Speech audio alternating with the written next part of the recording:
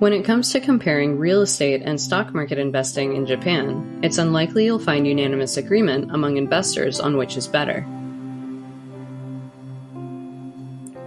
Competence in both asset classes is rare, as most investors tend to focus on what they have found success in or feel they understand. Real estate and stock market investments are fundamentally different, just like playing the piano versus playing the guitar. It takes time and dedication to become proficient in either one. Two significant differences between real estate and stock market investing in Japan are liquidity and taxation. Liquidity. In the stock market, when you want your money back, you simply press the sell button Within 48 hours, your money will be back in your account. This provides a certain peace of mind, knowing that you can easily convert your assets into cash without delays or adverse consequences. Real estate investments, on the other hand, have much lower liquidity. The value of your investment relies on finding a buyer to purchase your property and release your money.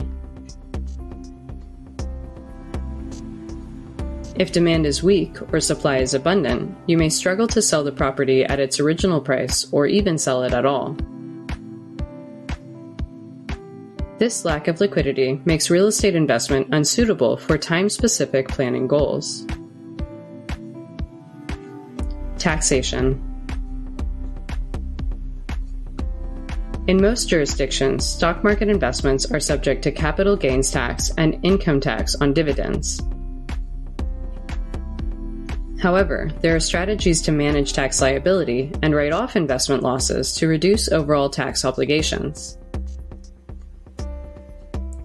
Meanwhile, real estate investors in Japan enjoy certain tax breaks.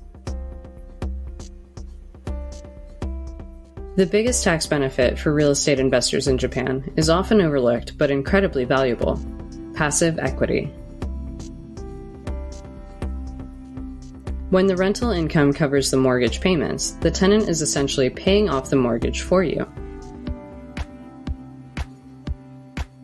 The subsequent annual increases in property equity are not taxed as capital gains, resulting in higher tax adjusted return on investment.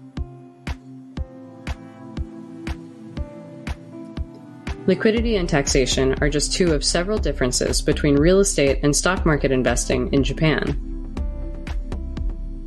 Other key differences for investors to consider include leverage, difficulty, and maintenance.